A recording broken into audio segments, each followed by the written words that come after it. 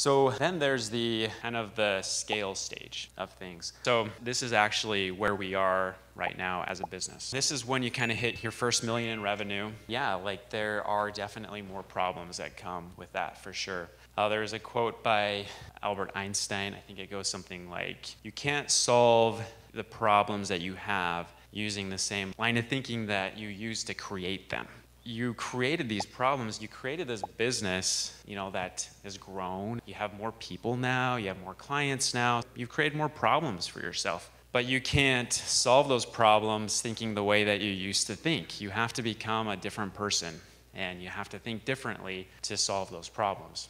That's something that i had to realize is you know some of the character flaws that i have i have to kind of change those things to to be able to grow um, and, and kind of get past where, where I am currently. So, some of the things that kind of struggle with at this stage and some of the things that we're trying to work out right now is, you know, keeping our good people. Before we were trying to figure out how to hire good people. Now we want to keep them. We want to make sure that they want to stay with us, that they're happy and they're still a good fit uh, to work with us. And then building a good company culture was something that we really never had to do before, but now we have to really focus on company culture. You're always going to have a culture in your company, whether you like it or not. It's going to be created somehow, so you might as well be intentional about that and create a good culture for your company.